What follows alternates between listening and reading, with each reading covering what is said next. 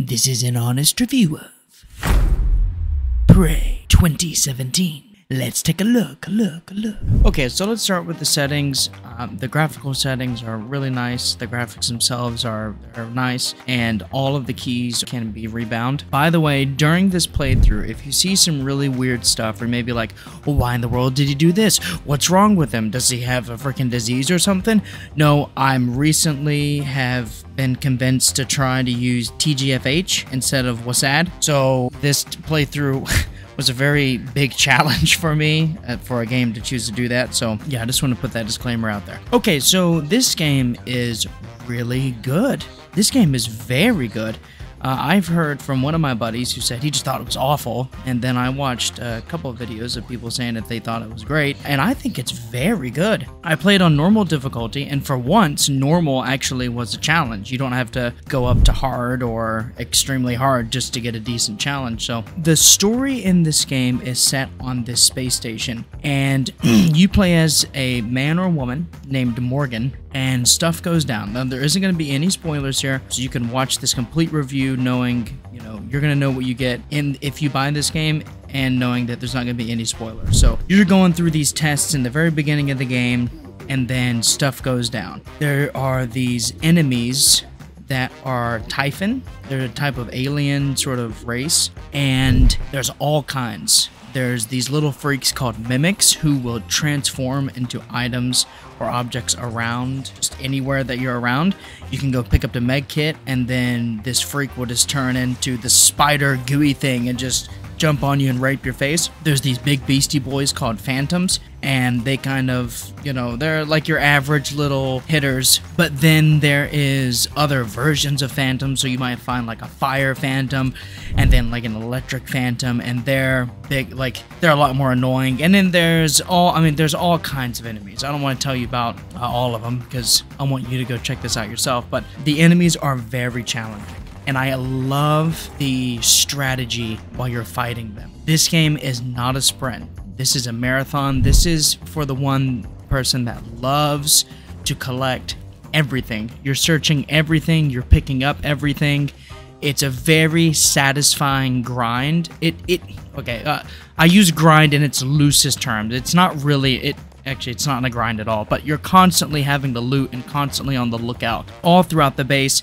It is a uh, an open sort of area, so you can go anywhere on the base that you want, and you're not tethered to just doing the main quest.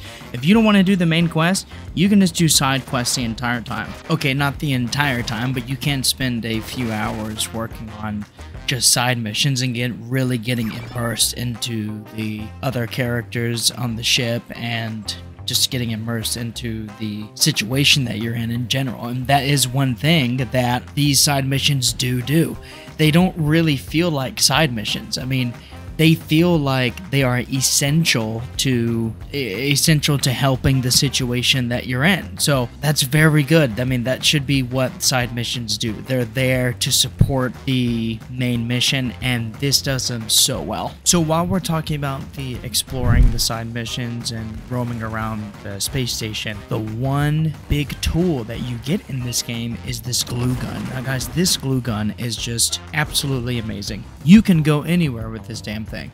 You shoot these balls of glue.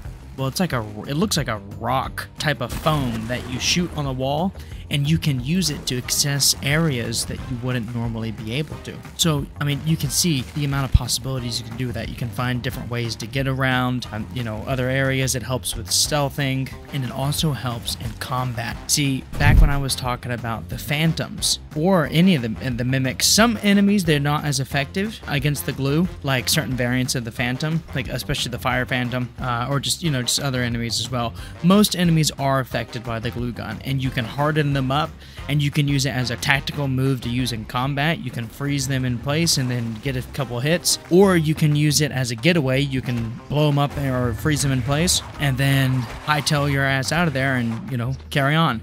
So this glue gun is just, it's really incredible and it really is what makes the game so good. So the crafting in this game is, it's just, I just, I love it. It makes you think about what you're crafting because resources are very limited and, but they're not too limited. They're not too annoying, but you do have to think about the stuff you use. So the way the crafting works is you collect junk. You collect junk all throughout the game and then you put them in this recycler build. Put them in this recycling machine, you hit OK, it breaks down all of the materials that you put in into its organic compounds. You then take those items and then you can put it into the building machine. I forgot what it's called. It's like the synthesizer or something.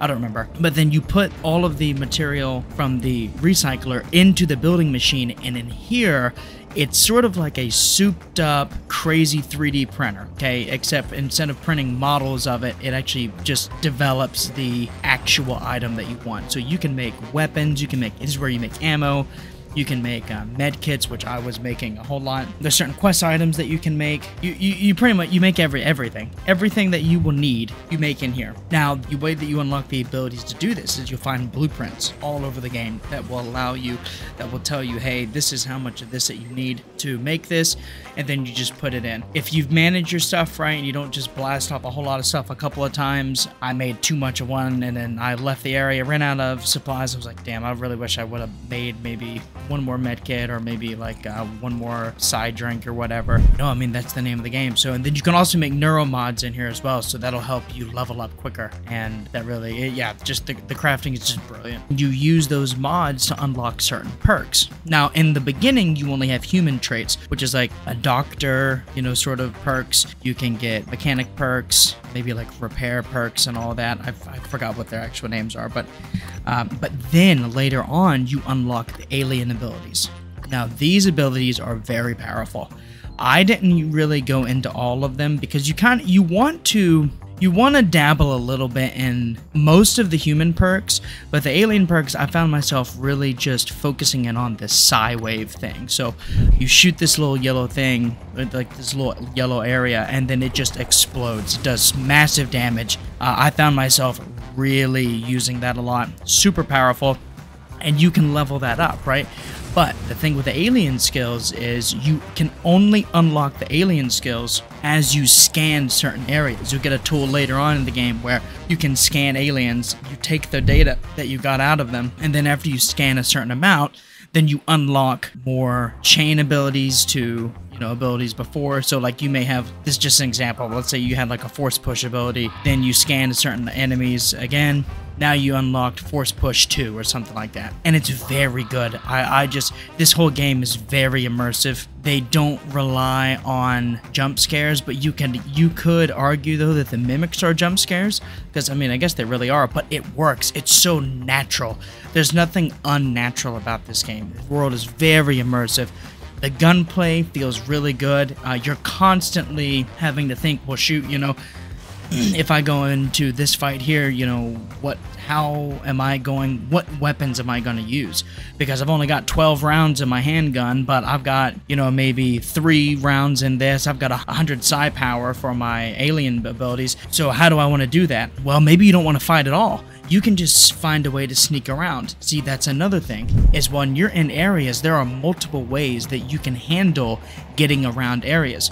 Most of the, if you don't want to and you just want to make this purely stealth, now there is certain combat areas that you have to go into, I think. Maybe that was just me, but you can sneak through and sneak past all of them. There's certain tree, there's a certain ability, I think it's the alien ability, um, that will enhance your stealthing abilities.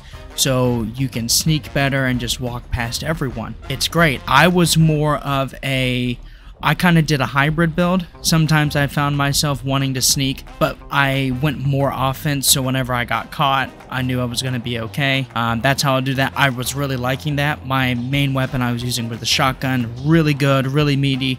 Uh, all the guns are really good. They're all good. You get a wrench, which is just I love the wrench. The wrench was so effective. The silenced pistol, the shotgun, and then you get this. There's another weapon where you blast them with this green beam, and then you watch the beam fill up on their health. And then if it gets to the end, they explode. It's it's so good. It's just all of it's very natural. I haven't finished it yet. I'm about seven and a half hours in, and uh, I think I'm getting close. But I imagine you could probably make this game go as long or as short as you want um, just because I mean the amount of side quests and the amount of depth that is in this game is so good. It's so good.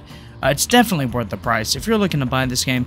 Uh, if you can get it on a sale, it's a steal. But this game is definitely worth full price. Um, just the amount of just this is just this is a AAA game. This is what we should expect from a AAA game. This is a AAA game that stands up to AAA status, and it's just wonderful. So uh, definitely post in the comments how you guys feel about this, uh, whether or not you agree or disagree with me. I always appreciate your guys' uh, support and all your comments.